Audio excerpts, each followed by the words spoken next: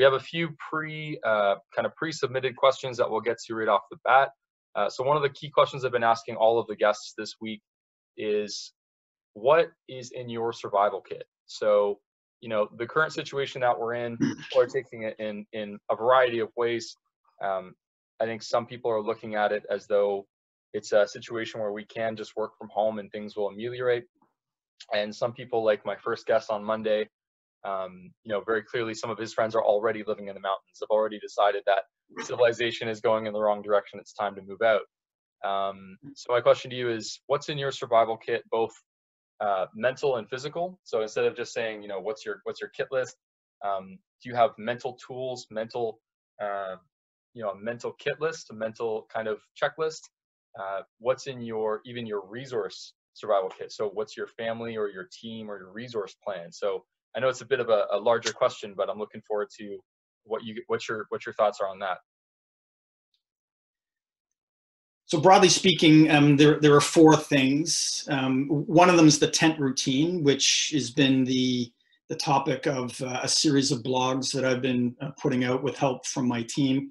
Um, so, so we, we can probably tackle that as a separate item. Okay. One is a, a PACE plan, which stands for Primary, Alternate, Contingency, and Emergency. And um, uh, I'll share a, a, a, screenshot with you to, to show you what that looks like um, from my, uh, my family's perspective. Uh, one is uh, is a balanced approach to body, mind, heart, and soul, and I, and I'll, i can talk about that uh, in more detail.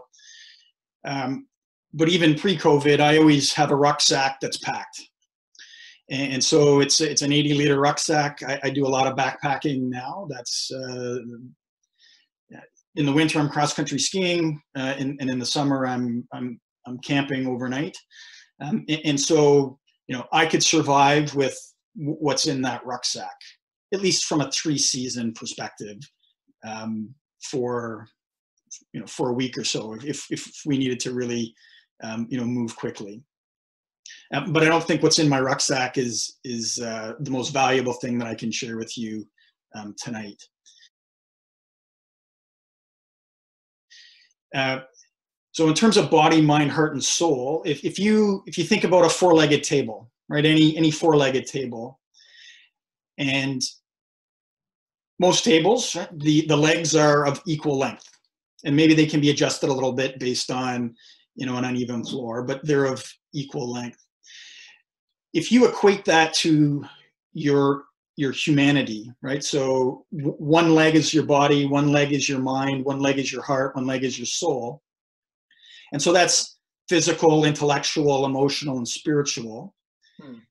If you don't attend to every aspect of your humanity, each one of those legs, if one of those legs is short or missing, well, your table will still stand until the right amount of pressure is put on the right part of the table. And that table will tip over or fall. So think of that pressure as stress. Think of it as crisis or chaos.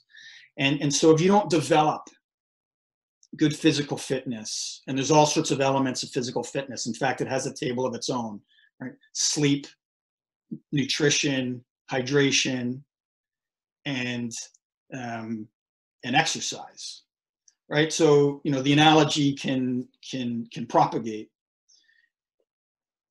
So I try to stay in reasonable shape. Um, from a mental perspective, I try to read a book a month uh, or, or more um, from from an emotional perspective, well, it, some have joked that I am emotionally efficient, um, meaning I, I don't have emotions. Uh, now, my children would say I smile as much as Batman, um, so so they're funny that way. I, I would say, uh, you know, that's been an area that I've had to work on. Certainly, the expression of, of those emotions, and from a spiritual perspective, um, that can be religion. I'm not a religious man, uh, so to me, that is you know what you believe. You know what is your purpose, and you know as Viktor Frankl said, uh, and, and, so Viktor Frankl was an Austrian Jew. He was put into a concentration camp in World War II, and then he went on to write a book called um, "Man's Search for Meaning." You know, and he said, if a person has a very strong why, they can withstand just about any how. And, and so, you know, if you have a purpose in life, then then you can get through just about any crisis because there's something worth living for, something worth fighting for.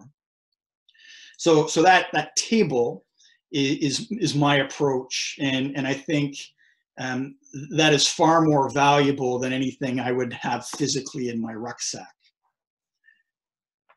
Um, and, and next, from, from my family's perspective, and, and here I'll share my screen with you. Just give me a sec. So, so let me know if you can see um,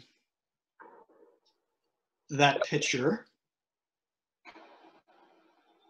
Is that coming up? That's right. Okay, so so what you see there, and um, for those of you on my team, um, I've actually gone out and, and purchased a uh, a whiteboard book that I can carry around with me, and they'll find that funny because I'm always I'm always doing whiteboard drawings, um, typically in, in illegible writing or hieroglyphics that only Anthony Robb can can uh, understand and transcribe. But what you see there are um, is my PACE plan here at home. And, and PACE, I don't know if it came from the military first or if it came from um, survival, um, but it stands for uh, primary, alternate, contingency, and emergency.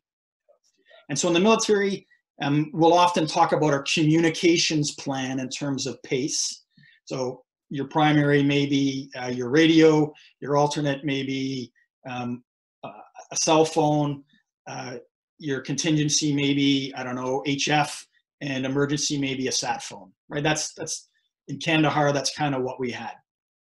But you can apply that to much more than just communications. And so, you know, here you've got one, two, three, four, five, six, seven, eight, nine. You've got 18 different categories. Uh, and, and no doubt there are more. I, I came up with this last night as, a, as an illustrative example. But in terms of shelter, our primary shelter for the family is our home. Um, if something were to happen to this house, we would stay immediately with a relative. If something were to happen um, more broadly to the neighborhood or to the city, well, I mean, I have tents. Um, or an emergency, we could live out of our truck. Okay. Um, in terms of water, I'll just go through a couple of these. Well, tap water and then I have 40 liters of bottled water, and then I have a filtration system that I have in my rucksack, um, and then we would probably boil it. And so the easiest is always the primary, and the most difficult is typically the emergency in terms of the use of, of whatever that is. And so I, I broke them down into you know very um, you know typical categories for shelter, water, food, cooking, heat, sanitation, electricity, communications, laundry, hygiene, sorry, hygiene, transportation, fire, first aid, light. Uh, PT stands for physical fitness, money. So, you know, credit card, bank card, but what happens if the internet goes down? Well, you've got cash, and I keep Canadian and American. Um, you know, what's the fire escape? uh, it, you know, data, that last one in the bottom right has to do more with my company. Um, and so I'm a Google user, Google stores my data, but I'm also, I have a separate backup. I also have external hard drives where you can print stuff out. So these are just examples of, of, of, uh, of ways to think about how do you build in redundancy into what you do. And, and redundancy is um, uh, you know, one of the six uh, biological elements of resilience. Um, and uh, there's a there's some interesting there's a TED talk and some interesting articles by a Martin Reeves, um, and he, he's out of Boston. Uh, how to build a business that lasts 100 years, and, and he and he bases it all on um, on, on, biological, uh, you know, how any um, species that's been resilient you know, manages to, to last for thousands, hundreds of thousands, millions of years. Uh, and so redundancy um, is, is, one of them.